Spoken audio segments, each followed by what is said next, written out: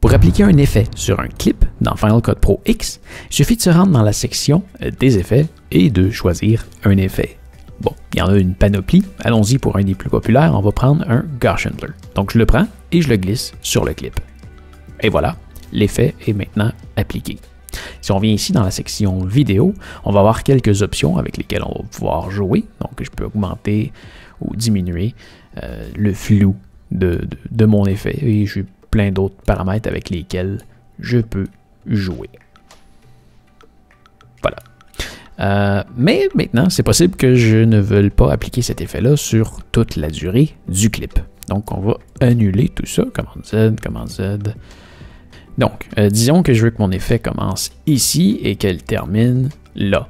Il y a deux façons de faire. La première, ça va être de couper le clip. Donc, commande B pour faire une coupe. Et B. Donc là, je viens de séparer cette section-là du clip. Et là, je peux venir chercher mon effet et la glisser dessus mais ça fait pas une très très belle transition. Donc si, je le fais jouer, je vois que euh, c'est très très très drastique. Et à la fin, ça va se réenlever. Voilà. Donc j'aime pas ça. Mais c'est une façon de faire.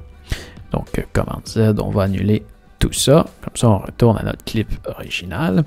Et euh, je vais remettre l'effet Gaussian Blur. Et ce qu'on va faire, c'est que, disons, bon, on va le laisser jouer. Et je veux que ça commence à être flou à partir d'ici. Donc, ce que je vais faire, c'est que je vais mettre ça ici à 0 et je vais mettre un keyframe.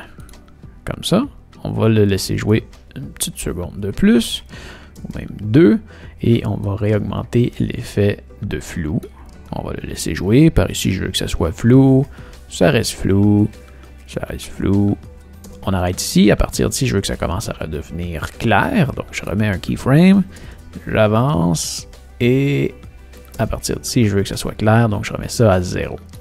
Les keyframes, ce que ça fait, c'est que ça, ça, bouge l'effet. Donc, ce, truc-là ici, qu'on bouge ici, ça va le faire bouger entre un point et l'autre. Euh, là, par contre, je viens de supprimer. Et à partir d'ici, j'ai dit 0.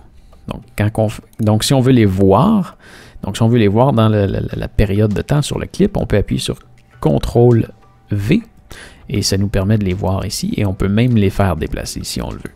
Donc là, si je fais jouer, ben on voit que tout est clair. Quand on arrive sur le keyframe, ça commence à devenir flou.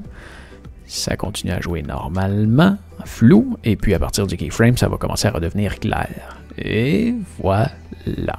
Si je veux que ça, se fasse en plus de temps, ben j'ai juste à bouger mon keyframe comme ça et tu vois c'est flou et là ça commence à devenir clair beaucoup plus doucement. Jusqu'à temps que l'effet retombe à zéro. Donc là, on a réussi à appliquer l'effet seulement sur une partie du clip. Ben alors voilà, ça fait le tour pour aujourd'hui. J'espère que ça va t'avoir aidé. Si oui, s'il te plaît, donne-moi un pouce en l'air. Si tu as des questions à propos de n'importe quel sujet, tu peux m'écrire dans les commentaires juste en dessous de la vidéo. Ça va me faire plaisir de te répondre. Et je vais peut-être même faire une vidéo juste pour toi. Alors, oublie pas de t'abonner. Et ce que tu vois en arrière, c'est ma chaîne principale. Viens jeter un coup d'œil à ça. Tu devrais aimer ça. Salut